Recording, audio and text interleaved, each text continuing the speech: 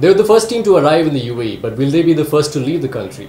Hello and welcome to a special edition of Sportskeeda's Indian Football Weekly, where we discuss India's uh, warm up to the Asian Cup in 2019. Now, Stephen Constantine's side has reached the country 17 days before the actual tournament kicks off. But they're not there to just start playing immediately. They're there to play a couple of friendlies before they actually get into the tournament. Now, India first play Oman before the Asian Cup, and Oman are ranked 82nd in the FIFA rankings. Now, Oman are in Group F. You won't face them in the group stages. India are in Group A. And uh, what we have to know about Oman is they didn't qualify for 2011. And in the 2015 Asian Cup, they crashed out in the group stages. Now, uh, Aravind has done a lot of research on Oman. So, what, first, let's talk about the coach. Who is he, and what is his kind of, what is his style of play? Okay, the coach is a former uh, Dutch player, uh, and he has coached uh, along with. Uh, he was the assistant coach to Guus Hiddink during the 2002 World Cup. They were with Korea. Korea, yeah. And his name is uh, Pim uh, Verbeek. Uh, so he was also the assistant coach of the Korean national team in the 2006 World Cup as well. But uh, at that time, Dick Advocaat was the coach. And after that, he took a solo assignment, uh, a solo managerial role with the Australian national team, and he led them to the World Cup undefeated.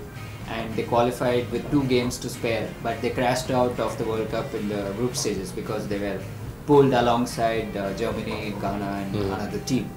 Uh, so he is uh, he follows the Dutch philosophy and uh, he likes to play with two holding midfielders uh, and he employs a 4-2-3-1 uh, formation for this case and uh, this means that he plays only one sole striker up front and uh, he likes to build up play in a very conservative way and uh, he takes time with all those passes and then finally gets the cross in for the striker to score a goal and this has worked well with Australia as far as I can see because you had Tim Cahill in Australia at that point of time.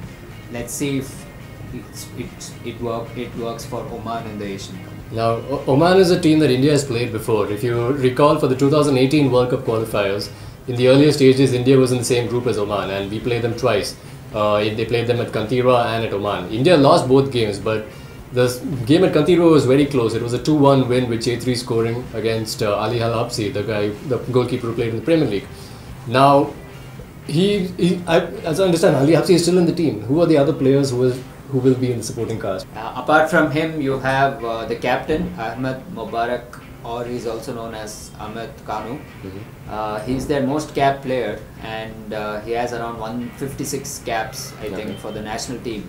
And he's uh, he's one of the two holding midfielders that uh, the coach will employ, and he has a knack of uh, turning up from behind the striker and then uh, scoring. He even scored against India in that uh, World Cup friendly, but he scored in Muscat, not in Kanteerava. Then you have uh, a striker. I think he might be the uh, first choice striker, Abdul Aziz. Uh, he scored a brace against India in that 3 0 win in Muscat after coming on as a substitute. And uh, he has around 18 uh, goals for Oman right now. He's their uh, top scorer right now, but he's not the all time top Yeah. scorer. And he's played 56 games for them, so he's a proven uh, striker up front. I think he's around 29 years old. And most of these players in the Oman team are quite experienced. They are uh, around uh, the average could be around 29, I think. Um, and one more player to look out for is Qasim Said. Uh, he played against India, and most of these players who we saw in the World Cup uh, qualifier will play this friendly. Oh. So, like you said, if Oman play a 4 2 3 1 and India, like Constantine always goes with, whether he plays a 4 4 2 or 4 4 1 1, it looks like India is going to have a big battle in midfield. It might, might even be outnumbered in midfield now. Uh, uh, Adi, who is Constantine going to pick in midfield now if he's going to play against Oman? See, based on recent performances for the national team, Constantine's gone with Pronay Halder and Anirudh Thapa, and you can't question what they've done in midfield. They've, they've been pretty good for the side um, from the Intercontinental Cup onwards. Uh, but I would really like to see Rowllin Borges being picked in midfield because he's had a very, very good I- ISL season so far. In a very resurgent Northeast United side, he's being one of the linchpins alongside uh, Ogbeche and, uh, and Gallego.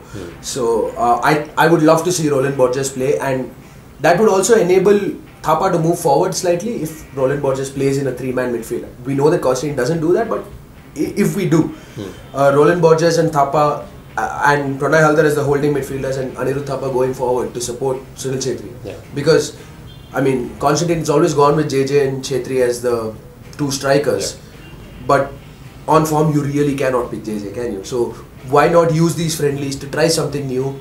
Whether this works because uh, most of these Asian sides, big Asian sides, they are going to play with a 4-3-3 or a 4-2-3-1 where you need numbers in midfield to counter that and I really think that if we go in with Rowllin Borges, Pronay Halder and Thapa in midfield be a lot better than 4-4-2 with one striker out of form and really Constantine's wingers don't do much apart from stand 20 meters ahead of the fullback so um, your your threat has to come from the center of the park and you'll be better served having numbers there and not losing the battle Yeah, so when Constantine started that World Cup cam- qualifier campaign, he mentioned that it was too early to train India to keep the ball against superior sides.